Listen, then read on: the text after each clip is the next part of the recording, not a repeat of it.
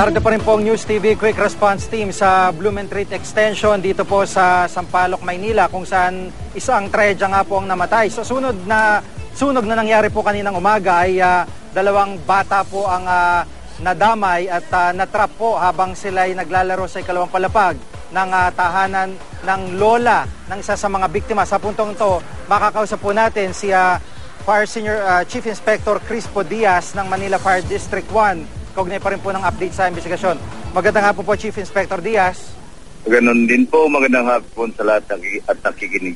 Opo, at ah, sa ngayon po ba, kumusta po ang ah, investigasyon na ginagawa nyo? Ano pong ah, latest dito sa investigasyon? Yun po, ah, on, under investigation po, ongoing bukas, uh, imbitahan yung mga importanteng tao na mag-share ng kanilang mga ah, kanya-kanyang statement para makakatulong doon sa investigation lalo na at ma- namatayan ng dalawang 4 years old na naglalaro ng mga bata doon sa second floor. O- Opo, may initial na hinala na po ba o teorya yung ah, BFP sa maaari pong pinagmulan nitong ah, sunog? So far yung common, so far yung common issue, yung tungkol dun sa pag-aaway ng dalawang kapatid. Then lately, after na para na yung sunog, lumabas yung principal, hinahanap ng kapitbahay, yung lalaking nagwawala, nag, nag-alalaslas pa niyang kanyang daladalang kutsilyo. Pero yun, imbitahan din yun po dahil may, yun po, another suspect din siya sa, sa pangyayari dun sa bahay na yun. Opo, ibig, ibig sabihin po may indikasyon na maaaring sinadya po ito dahil doon sa pag-aaway na yon. Gan- ganun po ba yung ah, pinatutunguhan?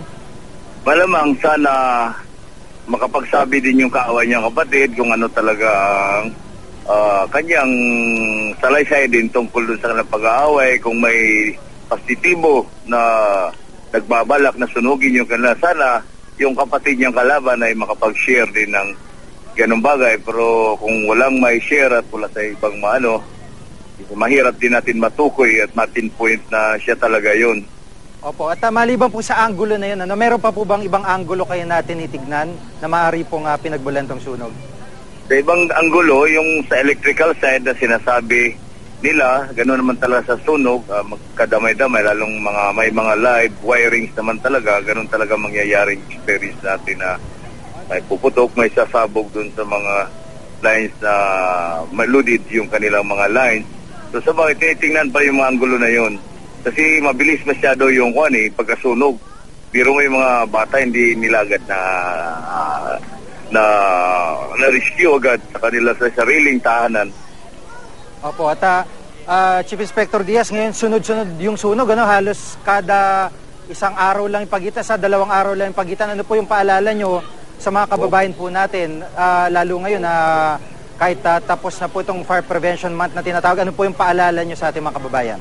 Opo, paalala ko sa ating kababayan, payo sa kanila na laging alerto, laging tugunan ng mga ah, safety, fire safety ng ating mga building, bahay, anumang mga araw-araw na ginagawa natin, ah, isipin lagi natin na mga pagligtas tayo ng buhay, kung sakali mang darating yung mga sakuna na yan tulad ng mga sunog na yon, ay lahat mag-iingat about sa electrical, tingnan nyo lagi yung mga electrical appliances nila, unplug lagi yung mga hindi ginagamit, Yung mga naka-jumper? o lahat-lahat na bagay na kakasani sa sunog ay dapat ingatan nila.